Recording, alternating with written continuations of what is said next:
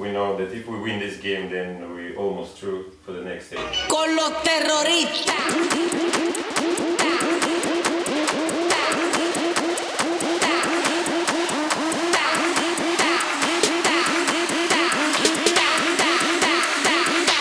and do the Harlem Shake.